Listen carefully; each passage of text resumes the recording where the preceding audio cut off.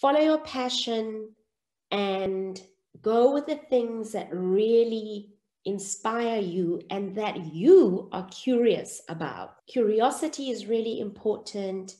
Having some kind of roadmap of where you want to be in a career to just start feeling what those careers really are.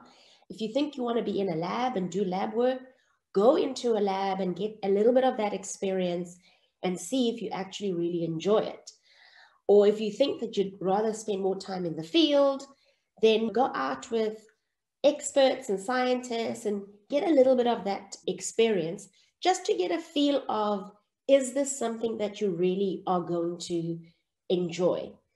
And then also don't be scared to dream, you know, don't be scared to think that I can't do this. We're always teachable, we can always learn.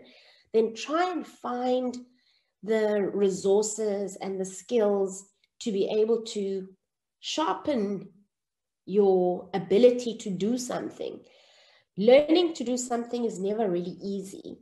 And so I often think that if you are willing and you have the right mindset to do something, you can do it.